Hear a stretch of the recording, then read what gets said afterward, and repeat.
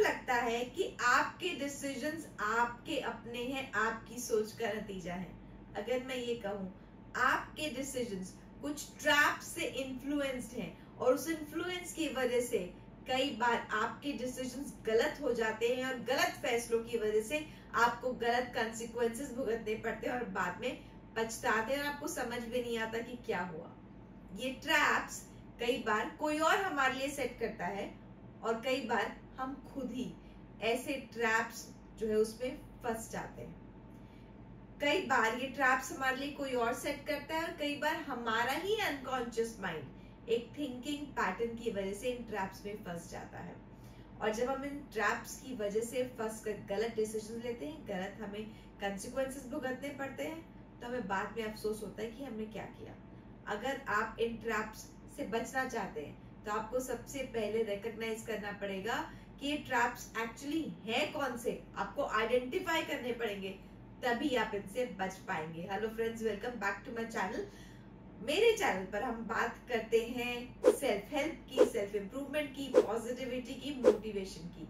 और आज के वीडियो में मैं आपके सेल्फ हेल्प के टॉपिक लेकर आई हूँ। मुझे ऐसे ट्रैप्स जिनमें अक्सर आप फंस कर गलत डिसीज़न ले लेते हैं। चलिए शुरू करते हैं आज का video number one trap number one trap is the spotlight effect trap इस ट्रैप में क्या होता है कि हमारा जो माइंड है, वो ये सोचता है कि हमारे ऊपर एक स्पॉटलाइट है। यानी कि सब लोग हमें ही देख रहे हैं। हम ही सेंटर ऑफ़ अट्रैक्शन है। हमारे ही बारे में सब सोच रहे हैं। और ऐसी ओवर थिंकिंग करके हम कई बार स्टूपिड एक्टिविटीज़ करते हैं या परेशान हो जाते हैं कि अरे, इसने मुझे ऐसे देख लिया, अब ये मेरे बारे में क्या सोच रहा होगा? फॉर इंस्टेंस मान लीजिए कि आप कहीं एक गैदरिंग में हैं और आप कुछ बात कर रहे हैं आपसे कुछ कुछ वर्ड्स का गलत प्रोनाउंसिएशन निकल गया या किसी बात को आप बोलते बोलते अटक गए, अब आप सोचते रहोगे, अरे, उसने मुझे बात करते हुए सुन, सोच सुन लिया, उसने मुझे बात करते हुए सुन लिया। वो मेरे बारे में क्या सोच रहा होगा? अरे उसने मुझे देख लिया कि मैंने गलत प्रोनाउंसिएशन किया वो मेरे बारे में क्या सोच रहा होगा? तो दूसरे आपके बारे में क्या सोच रहे हैं? बिकॉज़ आपको लगता है बस आप ही के बारे में सोचा जा रहा है जबकि ऐसा नहीं है। Nobody has too much time to think about you all the time so इस इस थॉट uh, पैटर्न की वजह से कि you are in the spotlight आपके ऊपर एक स्पॉटलाइट है और सबका टेंशन आपकी तरफ़ है इसकी वजह से आप हमेशा एंजाइटी में रहते हैं। प्रेशर में रहते हैं। उठपटांग हरकतें कर जाते हैं उठपटांग एक्शंस कर जाते हैं अपने हंड्रेड परसेंट में नहीं रह पाते। और फिर बाद में आपको लगता है मैंने ये कैसे कर दी ये गलती मुझसे कैसे हो गई? सो so, आपको अपने आप को स्पॉटलाइट इफ़ेक्ट में नहीं सोचना है। दूसरा ट्रैप दूसरा ट्रैप है ओवर जनरलाइजेशन ओवर जनरलाइजेशन मतलब हम एक जब एक पर्टिकुलर बात को एक जनरल रूप दे देते हैं। मान लीजिए कि आपने अपने फ्रेंड से बोला कि मेरे को इस चीज़ में हेल्प कर दो just help me out here and वो फ्रेंड आपको कहता है कि आज उसके पास टाइम नहीं है ऑक्यूपाइड है किसी और दिन या कल आपकी हेल्प कर देगा। आपको लगता है कि आपको हमेशा मना कर देता है। आपके साथ तो हमेशा ही ऐसा होता है। तो आप इस एक सिंपल सी चीज़ को जो स्पेसिफिक है रिगार्डिंग दैट टास्क आप इसको जनरल रूप देते हो कि ऐसा ही तो होता है हमेशा। और मान लीजिए, एक और एग्ज़ाम्पल मैं आपको देती हूँ। मान लीजिए कि आपने आप घर से निकले हैं एंड आपको किसी मीटिंग में बहुत जल्दी पहुँचना था। एंड जैसे ही आप निकले, आपके पास, आप रास्ते और जैसे ही आप निकले बहुत सारा ट्रैफ़िक आपको रास्ते में मिल गया। आप कहते आप कहते हो माइंड में, मैं जब भी मेरी कोई इंपॉर्टेंट मीटिंग होती है, इतना ट्रैफ़िक जैम ही मिल जाता है। So you over generalize it आपको लगता है कि ये चीज़ स्पेसिफिक नहीं है जनरलाइज्ड है। ऐसा ही होता है। This is again a mental trap किसी और सिचुएशन को आप कुछ और चीज़ से जोड़ देते हो, और अगेन आपकी एंजाइटी जो है वो और ज़्यादा बढ़ जाती है, आपकी फ्रस्ट्रेशन बढ़ जाती है, आपकी डिसअपॉइंटमेंट बढ़ जाती है और आप नेगेटिव हो जाते हो। Trap number three trap number three is anchoring effect anchoring effect में क्या होता है कि एक फिगर या एक पैरामीटर सेट कर देते हैं, फिर उस पैरामीटर के अकॉर्डिंगली बाकी सब चीज़ें होती है। और अगर वो पैरामीटर गलत हो तो ऑफकोर्स जो उसके अकॉर्डिंगली हो रहा है, वो भी गलत ही होता है। एक एग्ज़ाम्पल देती हूँ, मान लीजिए आप मार्केट गए और आपने किस, आपने एक शॉपकीपर से एक किसी चीज़ का प्राइस पूछा, एक टी शर्ट का प्राइस पूछा, उसने बोला टू थाउज़ेंड रुपीज़ आपको लगा टू थाउज़ेंड रुपीज़ नहीं नहीं टू थाउज़ेंड रुपीज़ बहुत ज़्यादा है, आप मुझे वन थाउज़ेंड में दे दो। और आप बहुत खुश हो जाते हो कि अरे I got this T shirt for one thousand actually इसका प्राइस तो टू थाउज़ेंड था। बट एक्चुअली शॉपकीपर ने आपको एक एंकर दिया था टू थाउज़ेंड आप वन थाउज़ेंड का प्राइस टू थाउज़ेंड से कंपेयर कर रहे हो।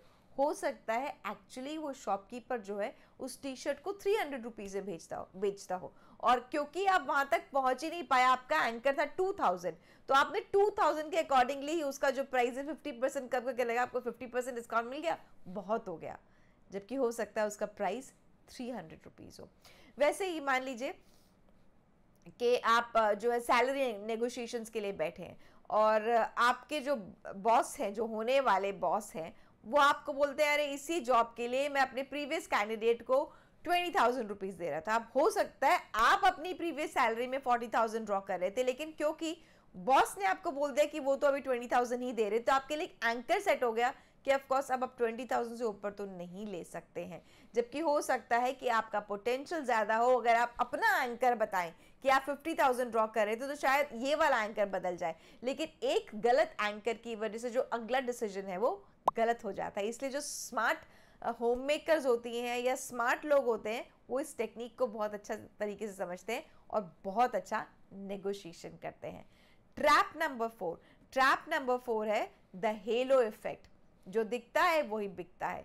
जो चीज़ अपियरेंस में जैसे दिखती है, अगर बहुत अच्छी दिखती है तो जो उसकी नेगेटिव चीज़ें हैं, वो पीछे छुप जाती हैं और उसका हेलो इफ़ेक्ट इतना ज़्यादा होता है कि नेगेटिव चीज़ें लोगों को नज़र नहीं आती, सिर्फ़ पॉजिटिव चीज़ें ही नज़र आती। कहते हैं ना, ऊँची दुकान, फीका पकवान, एक बड़े से रेस्टोरेंट में चाहिए जो बहुत अच्छा जिसका इंटीरियर्स है, बहुत अच्छी बिल्डिंग है। आप सोचेंगे इसका तो खाना भी बहुत अच्छा होगा। चाहे अगर खाना अच्छा ना भी हो तो भी आपको लगता है, नहीं नहीं, बहुत अच्छा है। बिकॉज़ यू नो ये तो इस रेस्टोरेंट का है दिस इज़ यू नो इतना ग्रैंड रेस्टोरेंट है ये। तो आपका जो है, उसका हेलो इफ़ेक्ट इतना ज़्यादा होता है कि आप उसकी नेगेटिव चीज़ देख ही नहीं पाते। अक्सर when people are in relationship the new relationship girlfriend and boyfriend तो शुरू शुरू में जो उनका जो मोड रहता है, वो हेलो इफ़ेक्ट रहता है, वो इतना ज़्यादा एक दूसरे से इन्फ्लुएंस्ड होते हैं कि एक दूसरे के नेगेटिव पॉइंट्स को देख ही नहीं पाते बिकॉज़ उनको, जो उनकी अट्रैक्शन है, जो उनकी पर्सनैलिटी है, वो इतनी अच्छी लग रही होती है क्योंकि नेगेटिव इफेक्ट्स उनको नहीं दिखते। वैसे ही हेलो इफ़ेक्ट कुछ एडजेक्टिव्स में भी आता है। मान लीजिए, मैं बोलूँ ए जो है, वो इंटेलिजेंट है इडियट है स्टूपिड है स्लो है। आप बाकी सब भूल जाएँगे। आप उस इंटेलिजेंट वाला जो है बात, आपको याद रहे कि ए बहुत इंटेलिजेंट है। मैं बी के लिए बोलूँ स्लो है स्टूपिड है इडियट है इंटेलिजेंट है। आपको उसका पहला जो हमने ट्रेड बताया स्लो वो याद रह जाएगा। तो ये हेलो इफ़ेक्ट जो होता है, वो जो सबसे जो आगे चीज़ दिख रही होती है ना उसको पकड़ लेता है और जो उसके पीछे जो नेगेटिव चीज़ें हैं, उसको जो है भूल जाता है। उससे क्या होता है, हम एक अलग इमेज में रहते हैं और सामने वाले का एक गलत परसोना समझ के उसके बारे में गलत जजमेंट कर लेते हैं और उसका हमें गलत कंसिक्वेंस भुगतना पड़ता है। नेक्स्ट ट्रैप क्या है? नेक्स्ट ट्रैप है trap number five is jumping to conclusion अक्सर लोग क्या करते हैं कि उनको एक ज़रा सी बात बताओ, वो आगे जंप करने लग जाते हैं। फॉर इंस्टेंस मान लीजिए किसी ने आप किसी को कुछ बात बता रहे हैं कि यू नो तुम्हें पता है कल क्या हाँ हाँ मुझे पता है क्या हुआ होगा। अरे अभी तो आपको पूरी बात बताई ही नहीं गई। आपने अपने आप से कंक्लूजन में जंप कर दिया। मान लीजिए कि किसी ने आपको आ, किसी पर्सन के बारे में बताया कि उसने कल मेरे साथ ऐसा किया। तो आपने अगेन कंक्लूजन में, अरे, वो तो है ही ऐसा, अरे, वो तो करता ही ऐसा है। आपने एक छोटे से इंसिडेंट से आगे और बड़े आप कंक्लूजन में पहुँच गए। किसी ने आपको बताया, बारिश शुरू हो गई। अब आपने अगला कंक्लूजन बहुत ट्रैफ़िक जैम हो जाएगा। फ़सलें, ये खराब हो बहुत ट्रैफ़िक जैम हो जाएगा, ये प्रॉब्लम हो जाएगा, वो प्रॉब्लम हो जाएगा। आप आगे के कंक्लूजन पर पहुँच गए। किसी बच्चे ने आपको बताया कि किसी किसी बच्चे ने अपने पेरेंट को बताया, मेरा ना ये वाला यूटी अच्छा नहीं गया, ये वाला एग्ज़ाम मेरा अच्छा नहीं गया। पेरेंट फटाफट से कंक्लूजन में पहुँचे तो बाकी यूटी भी अच्छे नहीं जाएँगे, तुम पढ़ाई लिखाई तो करते ही नहीं हो, तुम्हारा सारा दिमाग जो है दोस्तों के साथ खेलने कूदने में अगेन जंपिंग टू कंक्लूजन इससे क्या होता है when you jump to conclusion आप उस सिचुएशन की पूरी अंडरस्टैंडिंग नहीं ले पाते, उसको अच्छे तरीके से समझ नहीं पाते और आप अपने कंक्लूजन में लॉस्ट हो जाते। Again wrong decision wrong consequence और wrong decision and bad consequence जिसमें कि आपको बाद में बुरा लगता है। लास्ट ट्रैप क्या है? ऑल तो बहुत सारे ट्रैप्स हैं बट मैंने सिर्फ़ छः पिकअप करें last trap is sunk cost fallacy इसमें क्या होता है कि अगर हमने किसी चीज़ में कुछ इन्वेस्ट कर दिया और उसमें हमें लॉस हो रहा है तो हम और इन्वेस्ट करते जाते हैं। ये सोच के इतना इन्वेस्ट तो कर ही दिया, जब तक इससे फ़ायदा नहीं होता। ये जो ये ये जो इन्वेस्टमेंट कर दी, इसका हम पूरा निकाल नहीं लेते। तब तक हम और इन्वेस्टमेंट करते रहेंगे। फॉर इंस्टेंस मान लीजिए कि आपने एक बर्गर खरीदा and that burger was like for three hundred rupees and जब आपने उस बर्गर को टेस्ट किया दैट बर्गर टेस्टेड पथेटिक आप उसको फिर भी खाएँगे। बिकॉज़ यू नो आप बोले, यार थ्री हंड्रेड रुपीज़ इन्वेस्ट करें, इसको फेक कैसे दूँ? बेकार कैसे कर दूँ? यू नो वो थ्री हंड्रेड रुपीज़ की इन्वेस्टमेंट वेस्ट हो जाएगी सिंक कर जाएगी। आपको ये नहीं शायद समझ में आएगा कि अगर आप इसको खाएँगे तो जो आपकी बॉडी में जो प्रॉब्लम हो जाएगी, जो आपका स्टमक अपसेट हो जाएगा, वो और ज़्यादा वेस्ट हो जाएगी। तो again this is sunk cost fallacy कि आपने जो इन्वेस्टमेंट जहाँ कर दिया, आपको लगे वो कॉस्ट नहीं डूबनी चाहिए, इसलिए आप और इन्वेस्टमेंट उस पर करते जाते हैं। फॉर इंस्टेंस मान लीजिए कि आप एक सीरीज़ देखने के लिए बैठे नेटफ्लिक्स पर या अमेजोन पर और वो सीरीज़ आपने तीन चार एपिसोड देख लिए उस पर आपने कुछ घंटे लगा दिए। आपको सीरीज़ बिल्कुल पसंद नहीं आ रही पथेटिक है, बेकार है and you just don't like it but आपको लगता है, अरे, इसके पाँच एपिसोड तो देख लिए, अब पाँच ही तो और रह गए। चलो, और पाँच घंटे लगा देता हूँ। पाँच घंटे तो ऑलरेडी इसमें इन्वेस्ट कर चुके हैं। अब आपको वो पाँच घंटे जो इन्वेस्ट कर चुके हैं, वो दिख रहे हैं। जो आप और इन्वेस्ट करने वाले हैं, वो नहीं दिख रहे।